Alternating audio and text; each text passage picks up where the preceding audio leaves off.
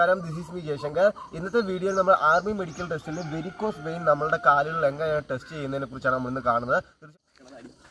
Ready okay okay ready ചെയ്തേ നമ്മൾ ഇതേപോലെ മെഡിക്കൽ ടെസ്റ്റിന് നമ്മൾ ചെല്ലുമ്പോഴത്തേക്ക് നമ്മുടെ കാലുകൾ ഇങ്ങനെ ജസ്റ്റ് നമ്മൾ ടോയിൽ നമ്മൾ ജമ്പിങ് ചെയ്യാൻ പറയും. അതോടൊപ്പം തന്നെ ജമ്പിങ് ചെയ്ത ശേഷം നമ്മൾ നമുക്ക് കുറച്ച് നേരത്തേക്ക് ടോയിൽ നമ്മൾ അപ്പ അപ്പായിട്ട് നിൽക്കാൻ പറയും. അപ്പോഴത്തേക്ക് ഏകദേശം വെരിക്കോസ് വെയിൽ നല്ല രീതിയിൽ കാലുകളുള്ളവർക്ക് നല്ല രീതിയിൽ തെളിഞ്ഞ് കാണാനായിട്ട് കാണാം. അപ്പോൾ ഇന്ന് ഈ കാൻഡിഡേറ്റിന്റെ കാലിൽ നമുക്ക് വലുതായിട്ട് വലിയ രീതിയിൽ വെരിക്കോസ് വെയിൻ ഇല്ല. പക്ഷേ നല്ല രീതിയിൽ വെരിക്കോസ് വെയിൻ ഉള്ളവർക്കാണെങ്കിൽ നല്ല രീതിയിൽ തന്നെ കട്ടിയായിട്ട് തെളിഞ്ഞ് കാണാം. അപ്പോൾ ജസ്റ്റ് ഇതിന് ശേഷം ഒന്ന് റിലാക്സ് ആയി.